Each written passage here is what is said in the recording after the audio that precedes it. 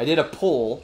Uh, if you weren't around, here's what I wrote. If you weren't around the first time I played, I started playing Deltarune. I'm sorry for the amount of Deltarune content I'm about to post. Once I beat the game and finish exploring for neat stuff, this will be the last gaming content I do for a long time. I want to focus on my art starting this year, but since Deltarune is what kicked off this channel's growth, and I have a lot of respect for Toby Fox as an independent creator, uh, I'm going to make an exception and reward myself by playing Deltarune.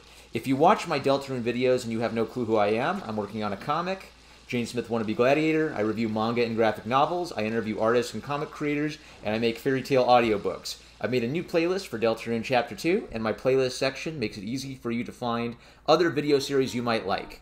Let me know what uh, let me know here what you'd like to watch. So I did a poll of what kind of videos you guys like to watch.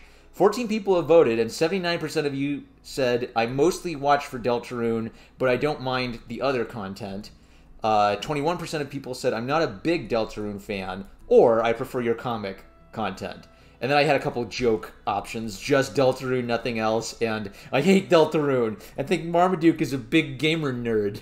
So, sounds like most of you are Deltarune fans, but you are cool with the comic and uh, art and music stuff, so I'll keep doing that and I have like loyal subs who are just like not Deltarune fans, and just it's a weird time when a Deltarune came comes out for my regular fans. Like the whole the whole theme of the channel changes.